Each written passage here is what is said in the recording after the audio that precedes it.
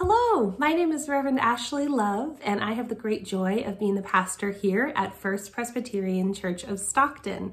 I am so glad that you have checked us out online. Um, we are a uh, warm, very welcoming church here uh, in Stockton and have been a congregation since 1850, if you can believe that. Um, we've been at our current location at the corner of El Dorado and Vine in our current building for the last 100 years. And um, we are part of the Presbyterian Church USA, so that is our denomination. We are a Christian church.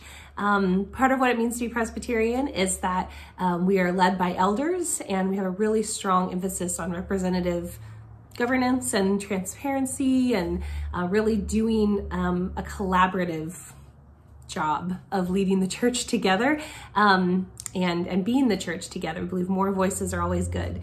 Um, and, and working together is, is always a good thing. Um, and then uh, also we are loosely in the Reformed theological um, kind of grouping, but we are always being reformed with that.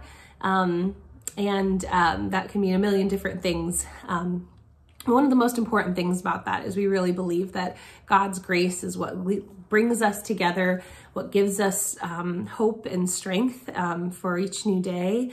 Um, and so we, we lean on God and we allow each other to be imperfect um, and to, to be on the road. We're all on this journey of faith together.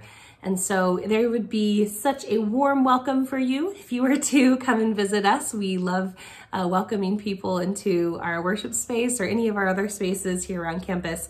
Um, so you are so welcome to come and join us. Our worship services at our 11 a.m. on Sunday mornings. Um, it is a combination of a bunch of different styles. I think if you were very into traditional services, you would think it was more you know, modern. If you were very modern, you would probably think it was very traditional. We're kind of somewhere in the middle. We're a bit of, a bit of a hodgepodge ourselves as a church, and so certainly our um, worship is delightfully so as well. Lots of heart. Um, and so you are so invited to come and join if you're exploring faith or if you have been on this road um, with Jesus for a long time.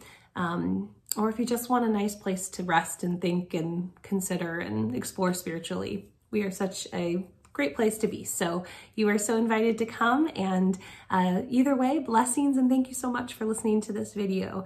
Um, hope to see you soon.